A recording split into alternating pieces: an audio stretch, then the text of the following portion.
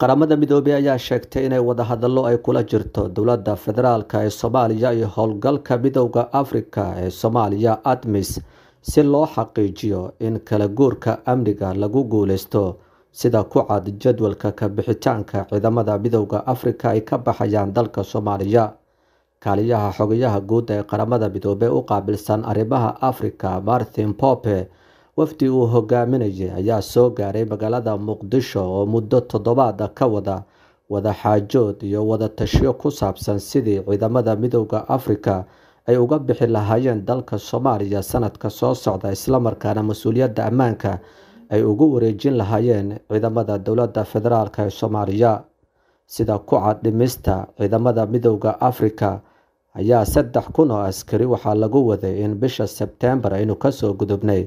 ay ka baxaan dalka soomaaliya balse dib loo dhigay muddo saddex bilood ah kadib codsi ka yimid dowladda federaalk ee soomaaliya.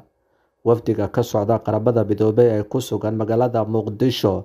ayaa ka shaqeynaya sidii ciidamada midowda afrika ay uga qeyb qaadan lahaayeen wejiga labaad ee dagaalka ka dhanka al-shabaab ka hor inta aysan ka bixin dalka soomaaliya. Waxaa aada looga taxadirayaa in goobihii midowda afrika ciidamadiisa ay joogeen inay dib ula wareegto al-shabaab islamarkaana taas ay dhabarjab ay ku keento dadaaladii midowda afrika dhowr iyo tobanka sano ka socday dalka soomaaliya ee lagu xaqiijinayo ammaanka iyo xasiloonida dalka soomaaliya. Qaramada midoobey waxay sheegtay in ciidamada midowda afrika ay haystaan hadda hal sano oo keliya oo ay ku caawinayaan dowladda federaalk ee soomaaliya inay kaga adkaato al-shabaab dagaalka hadda ay kula jirto. Madaxweynaha soomaaliya xasan sheekh maxamuud ayaa muddo ka shaqeynayay sidii ciidamada dowladda soomaaliya ay hormuud ugu noqon lahaayeen howlgallada militari ee ka dhanka al-shabaab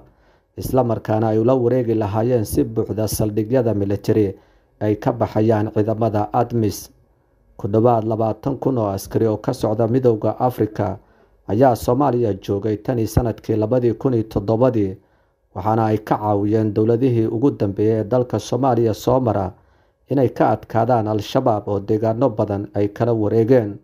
Ciidamada midowda afrika ayaa ku sugan hadda qeybo badan oo ka mid ah dalka soomaaliya waxaana joogistooda loo arkay inay wax badan ay ka bedeleyso xaaladda amniga iyo xasiloonida maadaama ay hayaan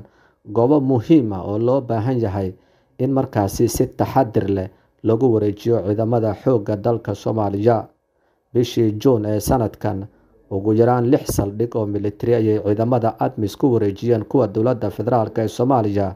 waxaana la filayay wejiga labaad in saldhigyo hor leh ay wareejiyaan balse arrintaasi dowladda federaalk ay codsatay in dib loogu dhigo maadaama ciidamada dowladda ay ku jiraan dagaal xoogan oo ka soconaya dhowr jiho oo ka mid ah dalka soomaaliya.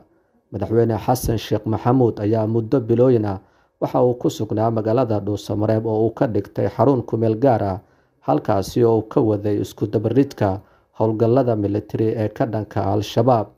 Dowladda federaalk ayaa ku guuleysatay inay qabato deegaano badan balse muddooyinkii dambe waxaa muuqatay hoos u dhac dhinaca howlgallada militari iyadoo arrintaasina loo aaneynayo diyaargarowga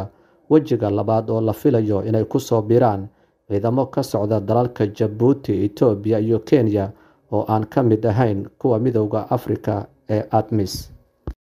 ku dooro xirmada bilaha unlimitedka adeega dhammays xawaare sare iyo qiimo jaban. Ku shuba shan iyo toban doolar oo keliya oo hel unlimited data internet iyo ku hadal aan kaa dhammaanayn muddo bil ah uga shuba io dahab kood nambarka xidig hal eber hal afar